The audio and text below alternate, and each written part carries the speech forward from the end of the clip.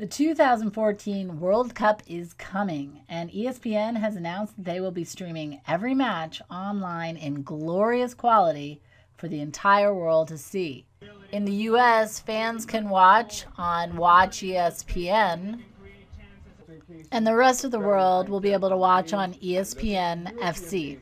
Recording live events like this one in glorious quality is so easy with replay video capture. So first of all, you just have the program open, which I do. I just opened it up. I then want to make sure that I'm using background mode, and I can tell that I am because I can see these show hide buttons right here. But if you're ever not sure if you're in background mode, all you need to do is click on settings. And here where it says background mode, you want to make sure that it's enabled. So I just close out of here. Then I want to tell Replay Video Capture which part of my screen to capture. So easy to do with this program. You just click Get Video.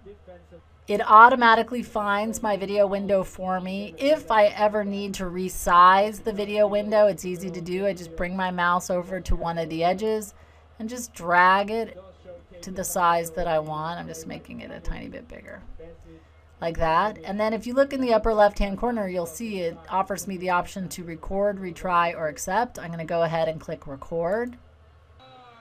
Two things happen. First of all, I know that the program is recording because I see a little miniature version of what's playing on my screen in the user interface.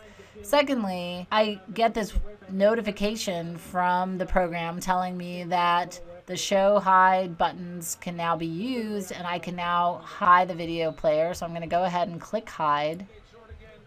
And the reason this is so important and it's such a great feature of Replay Video Capture 7 is because when I hide that big player window, I save my PC from using a lot of power, enabling the program to capture in higher quality and enabling you to get a more glorious recorded file.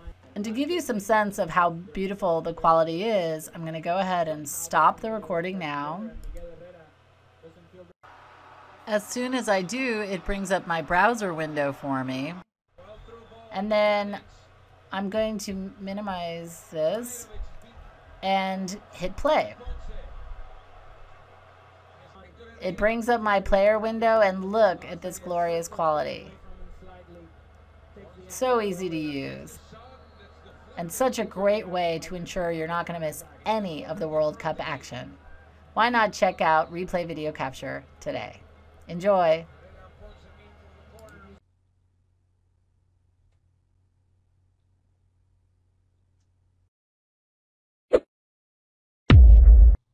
As soon as I do, the browser window opens for me.